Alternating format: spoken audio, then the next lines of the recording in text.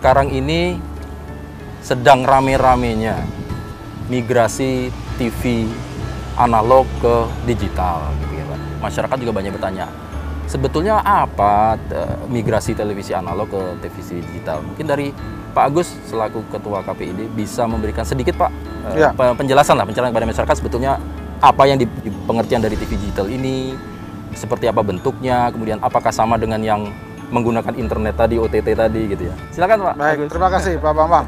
Jadi memang kalau berkaitan dengan uh, perubahan uh, analog ke digital ini namanya ASO. Jadi analog uh, switch off. Ini adalah bagian dari turunan Undang-Undang Cipta Kerja November 2020. Jadi sejak Undang-Undang Cipta Kerja itu disahkan, khususnya dalam dunia penyiaran, ada waktu 2 tahun bagi TV untuk beralih ke digital.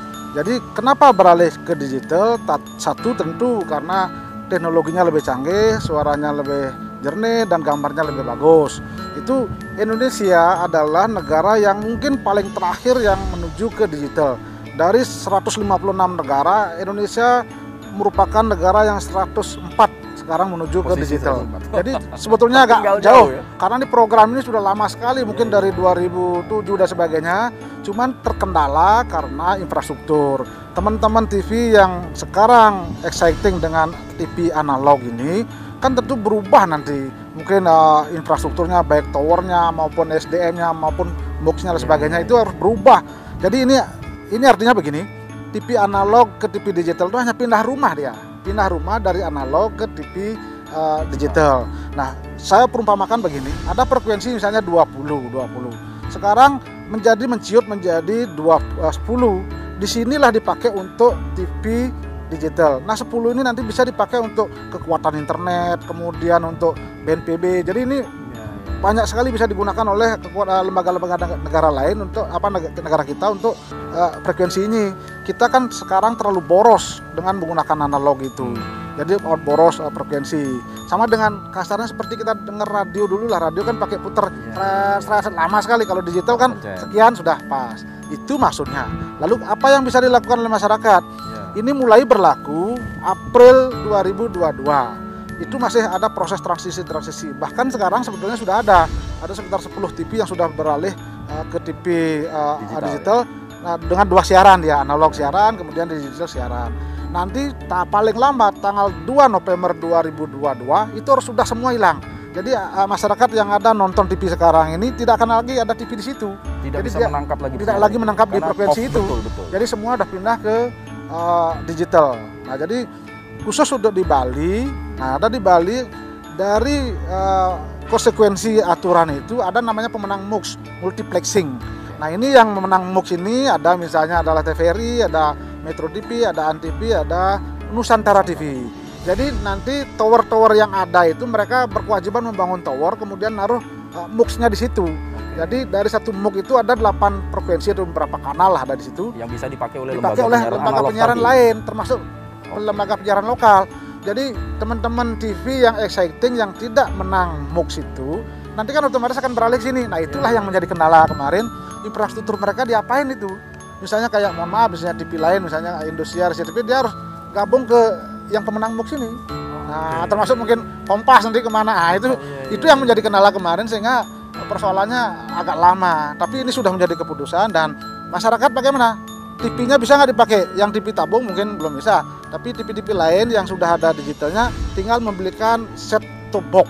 Jadi tinggal membelikan STB itu uh, sekitar mungkin harganya 200 sampai 500 itu nanti bisa beralih. Namun demikian untuk khusus pemenang MUX yang ada di Bali, mereka berkewajiban memberikan set top box itu. Baik. Jadi khusus kepada kakak miskin dan sebagainya ada kewajibannya total di Indonesia harus menyediakan 6,7 juta set top box seluruh Indonesia. Oke. Jadi eh, intinya gini Pak ya.